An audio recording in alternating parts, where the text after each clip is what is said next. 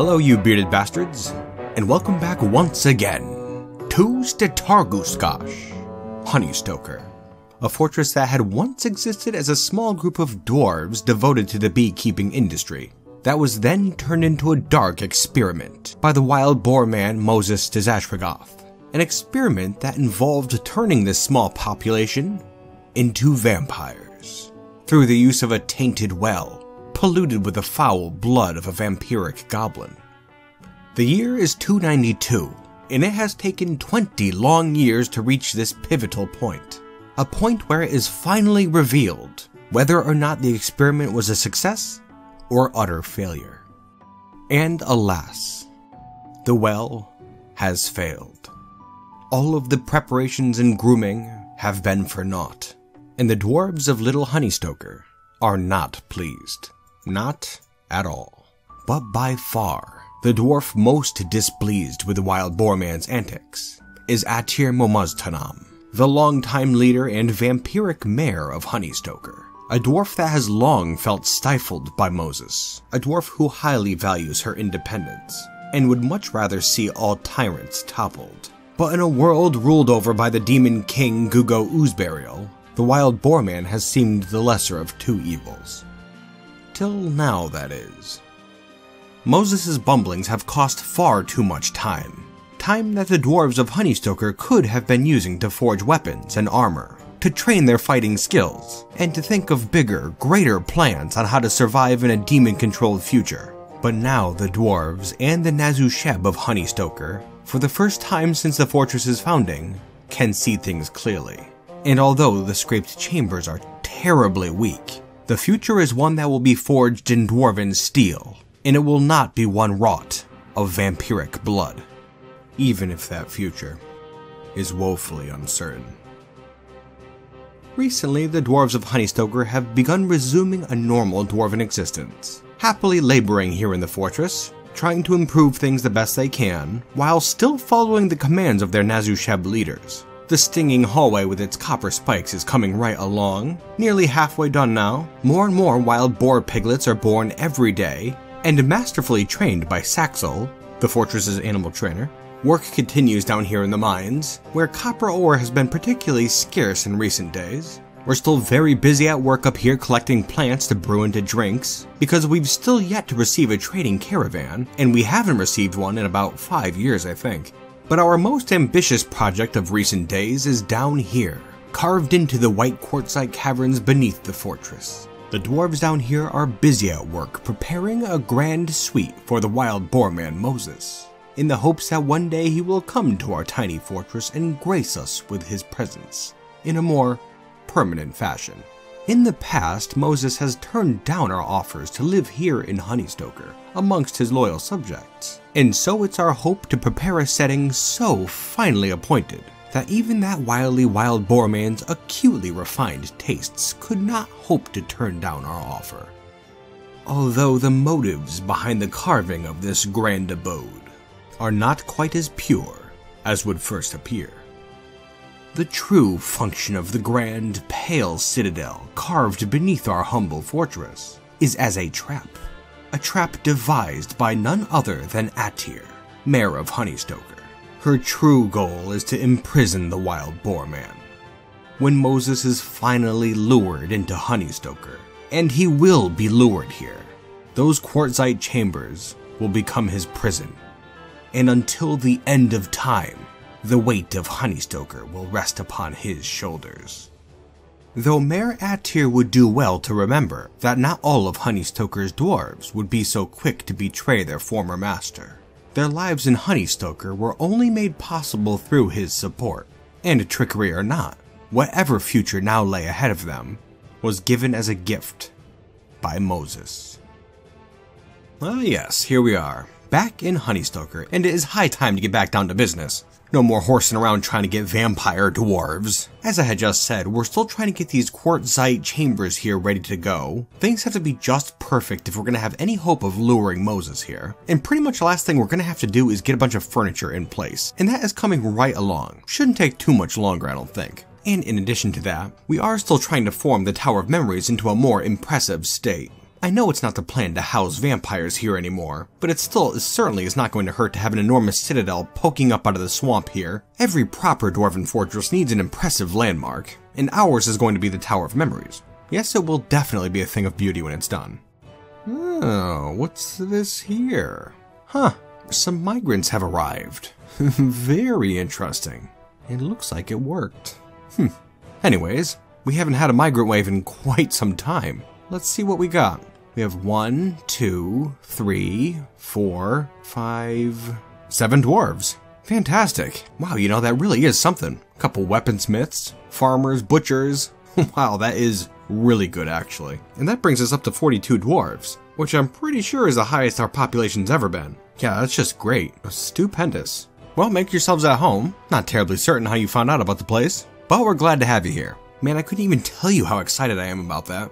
We have not had a proper migrant wave in quite a few years now, actually, and I don't know why they decided to show up now, but with all the recent work that's been going on, it certainly will be good to have. Uh, did you feel that?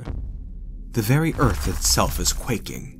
That could only mean one thing. It is said that when the rocks beneath our feet shake of their own accord, that it is the doing of Ifen, goddess of nature, hammering on her great anvil of soil and stone.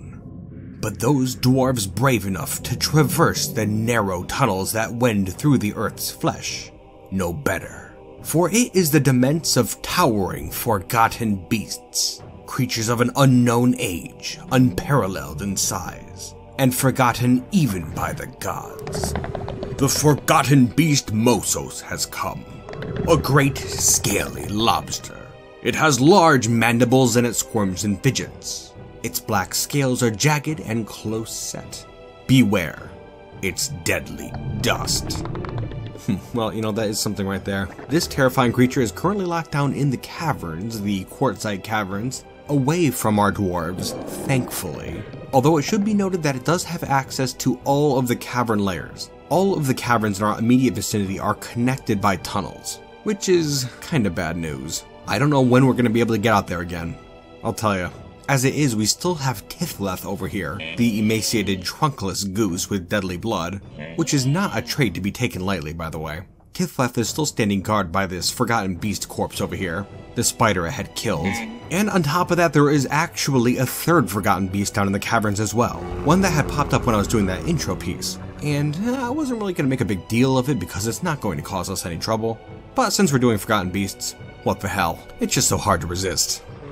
The beast that slithers before us down in the lowest caverns beneath Honeystoker is known as Siga, a great hairy snail. It has thin wings of stretched skin and it undulates rhythmically.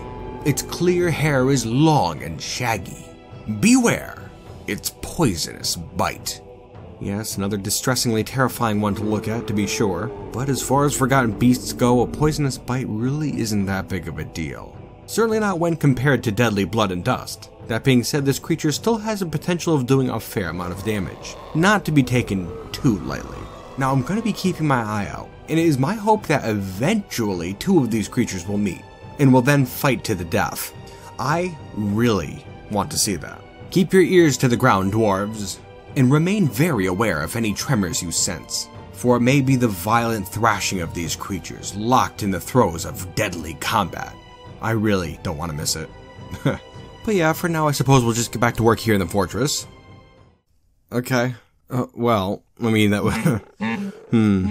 Another extremely quick battle there. Wow, what the hell? I. I mean, I'm talking seriously here. I had unpaused the game after that for like maybe 15 seconds. I'm alerted that there's combat, and I look up here and see this.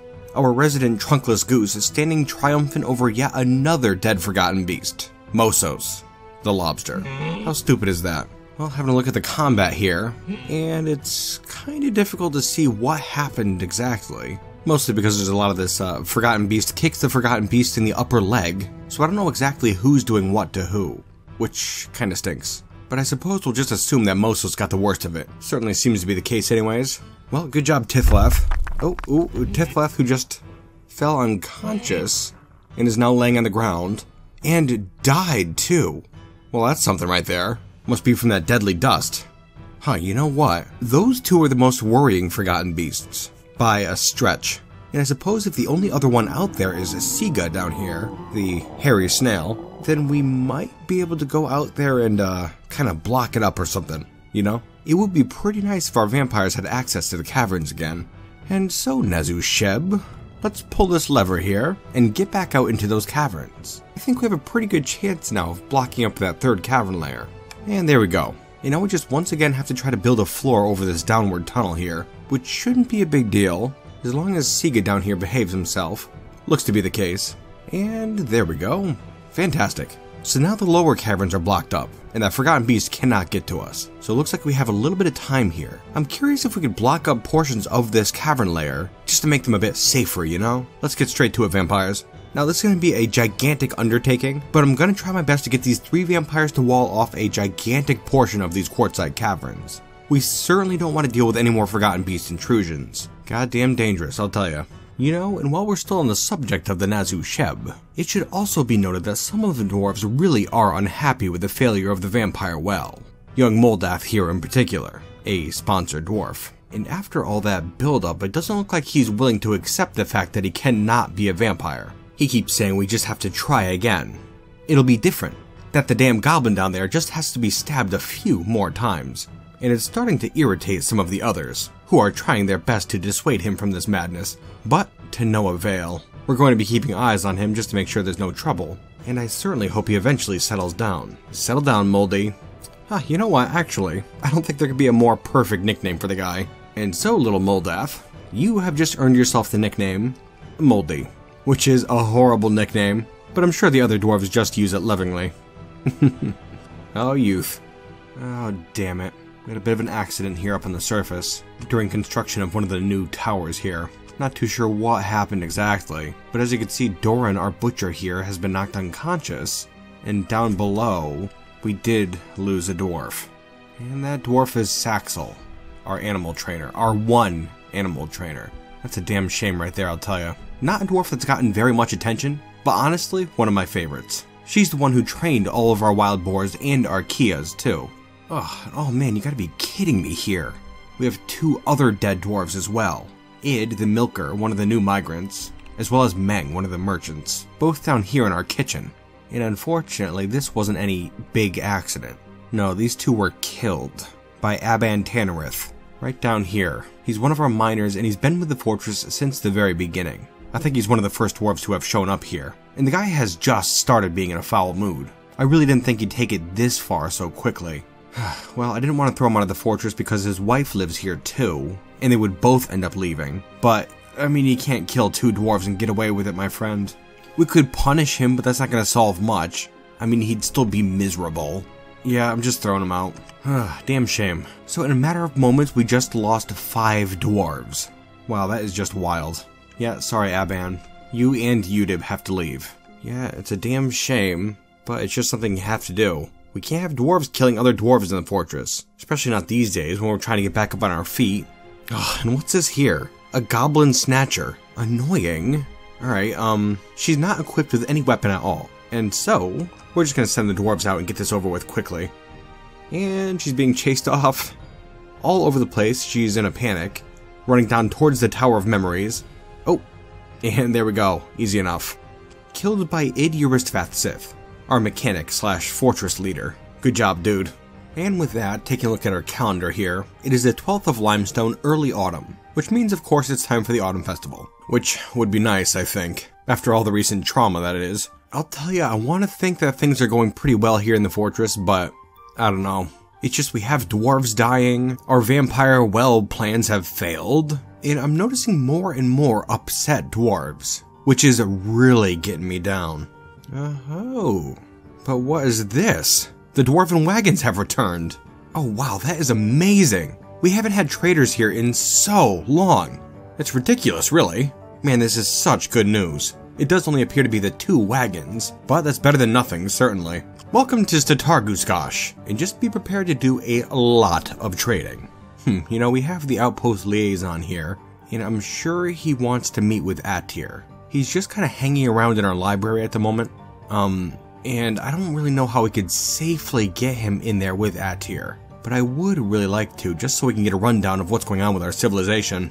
Well, you know, if I unlock this door right here, the one that leads up to the tower, I don't think the vampires will try to run out, but I'm not sure. Um, hmm. First, I'm gonna take the vampires and move them down underground. Alright, and here they go, very good. And now I'm going to unlock this door here. Let's see what happens. Door is unlocked. And for whatever reason, it looks like the outpost liaison is sunk into a depression. Just sitting in this temple here. Oh, that's not great. Maybe the news he brings is worse than we thought. And in addition to that, it looks like some dwarves are trying to get up into the tower. Ugh, just annoying. Oh jeez, and on top of that, the vampires are trying to get out of the tower as well. Hey, you know, I think I'm going to appoint a temporary mayor. This is not going to end up working very well, I don't think. So I'm going to relock this door, and uh, having a look here, I'm going to replace Atir with... Hmm, well, this uh, merchant here is extremely qualified for the position, and they go by the name Amos Delaersachas. Hmm, well, not that I want to give a merchant much power, but, well, I suppose if they're not doing anything else, I might as well, right? We have to get that news from the liaison.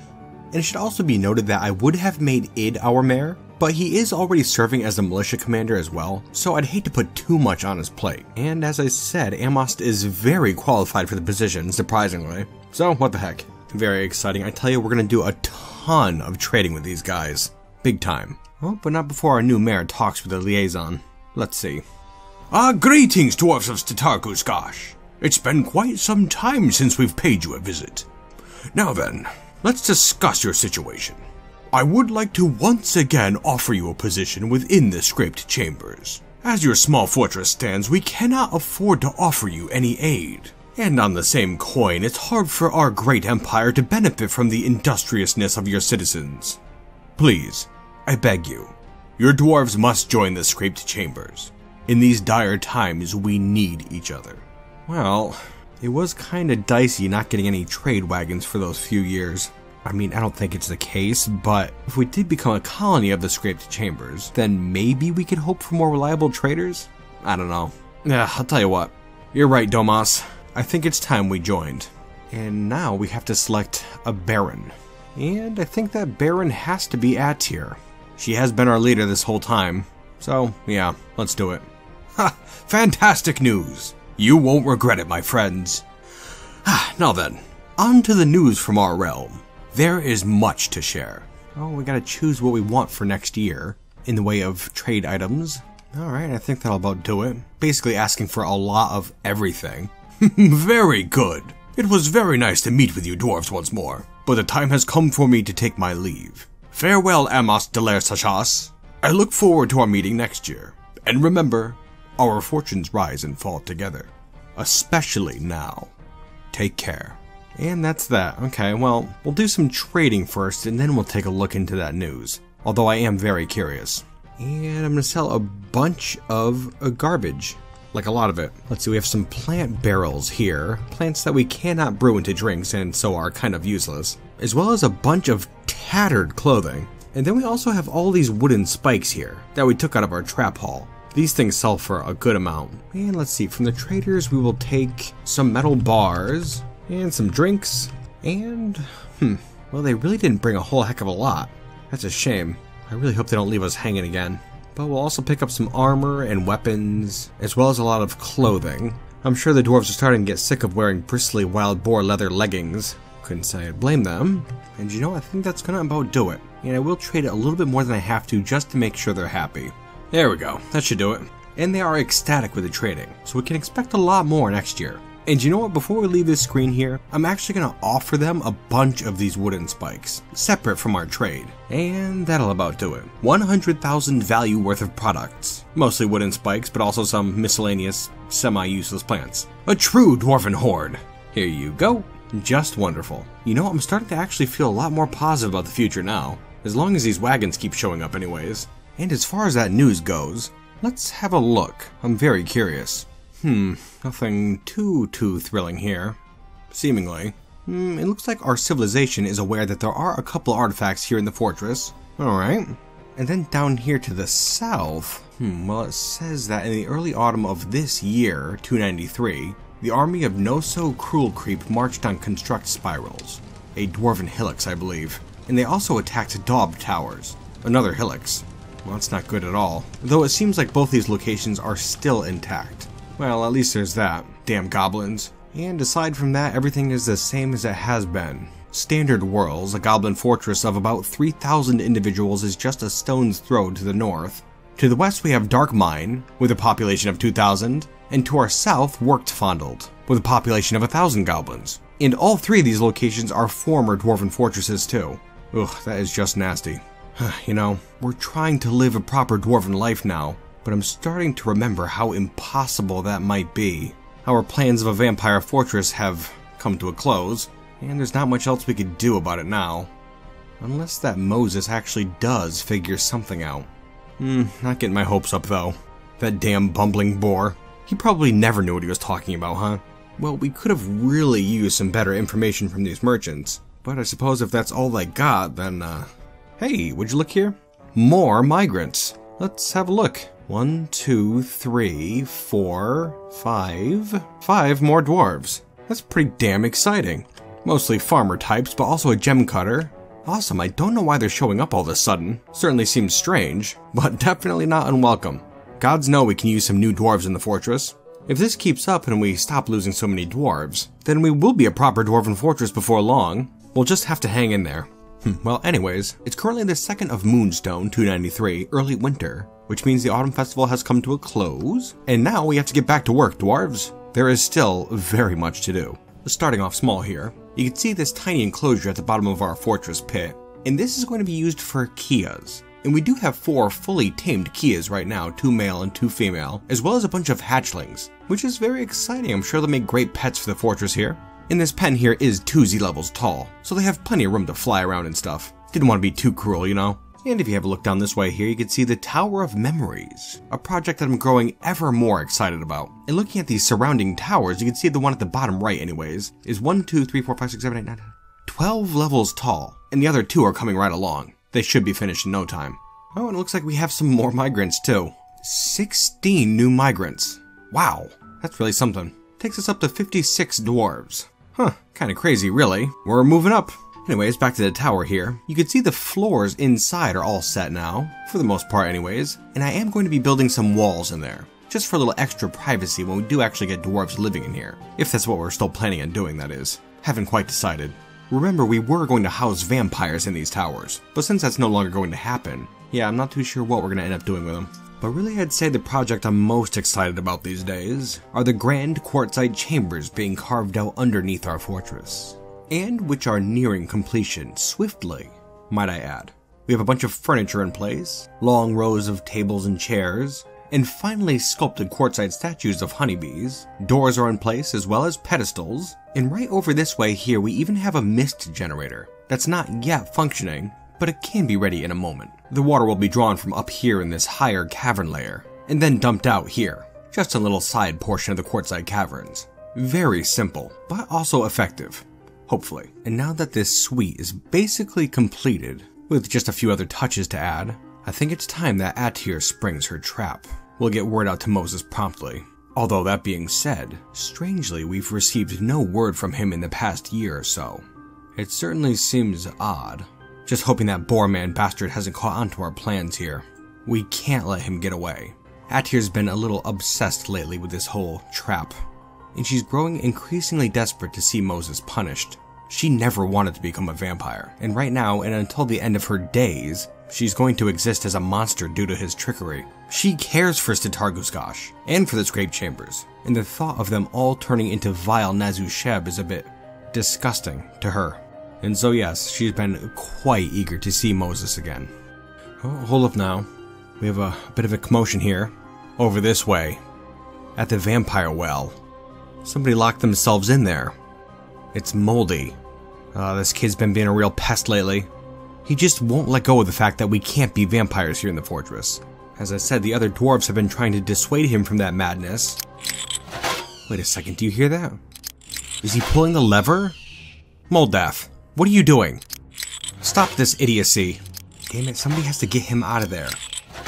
He's still pulling that lever. Not that we care too much about that goblin but those screams are just gut-wrenching. Come on, Moldath. The plan has failed. There's no sense in this. That damn dwarf. The screams, they've stopped. He's not pulling the lever anymore. Moldath! Come out of there, will you? You have to act sensibly. It's so quiet in there now. Is he alright? By Melville's wisdom, the well worked. We just needed more blood in there. You mad dwarf. And now he's running off into the fortress. He's crying out to the other dwarves, rallying them. The well has worked. A bright new future for the dwarves begins today. We are the Nazu Sheb, and the future will be ours. oh my god. This is amazing right here. Okay, now I had done a little bit of background testing, and it turns out we just needed a tiny bit more blood in that well. And yeah, it uh actually seems to work exactly as intended. And I will tell you too, because it's been asked so many times, that the whole double decker well thing actually does work. Just in case you were wondering. Would you take a look at our meeting hall? Damn man, what the hell? That really is something. Everyone in the fortress is now a massively powerful vampire. wow. It was damn quick, too, which is good. One of my fears is that a couple of them would turn into vampires and then try to drink blood from other sleeping dwarves. But it was so quick it doesn't seem to have mattered at all. Moses' plan worked, and the fortress dwarves seem to have turned against Atir's dwarven future idea. We are now embracing a vampiric future, a future in which we actually stand a chance fighting against the Demon King and his goblin armies. We've had more and more migrants showing up lately, which could mean more vampires too. Oh man, that's so good. Although, something else interesting I noticed here, if we uh take a look down the line here of all our new vampires, wow, kind of overwhelming actually. Uh, we can see up here that Maffal, our former chief medical dwarf, the one who's a werehorse, is not a vampire because she's locked in that room by herself. And also, farther up here, we have Id Euristvath Sith, who was our fortress leader for a very long time after the Nazu Sheb went up to the Tower of Memories. Now, I paused the game because I realized that he is the last one to drink out of that well. And keeping in mind that he is a sponsored dwarf, uh, Id here does not want to become a vampire. Both he and Atir seem to be on the same page, which is very interesting. Now, I'm not too sure what we're going to do exactly, because if he doesn't become a Nazu Sheb, he's going to be, well, sucked dry in a matter of days, I would think but we're going to have to think of something quickly because he is against it. We have to remember too that his wife is down here and she's not going to become a Nazu Sheb either, because she is locked in his chamber by herself, due to the fact that she's been infected by the werehorse curse. And at the time being, those are the only two non-vampire dwarves in the entire fortress. Even the three children that they have here in the fortress are vampires, with the others being Lymel, their eldest daughter, who died quite a few years back due to not being able to create an artifact in time, and Silob, their oldest son, who's a militia captain up in Waterkeeper to the north. I wonder what he would think if he knew what was going on here at Honeystoker. But a more important question is what the hell is Id planning on doing now? Whatever he's planning, he's gonna have to act fast. And what about new migrants? Do they run the risk of getting sucked to dry the instant they step foot in Honeystoker? And for that matter, what about Atir? What does she think about all this? With all the dwarves in the fortress turned into vampires, it seems like the hopes of a dwarven future are soon to be crushed. So many questions. Why are we suddenly getting so many new migrants? And the wagons, too, for that matter. Just strange. And even stranger still, where is Moses? We haven't heard from him in quite some time. Is he aware of our trap? Or maybe something's happened to him? Hmm, well, I'm afraid that these are questions that will have to wait until next episode. Well, my bearded bastards, I certainly hope you enjoyed watching this episode, and I hope to see you next time here in Honey Stoker, And until then, you bearded bastards,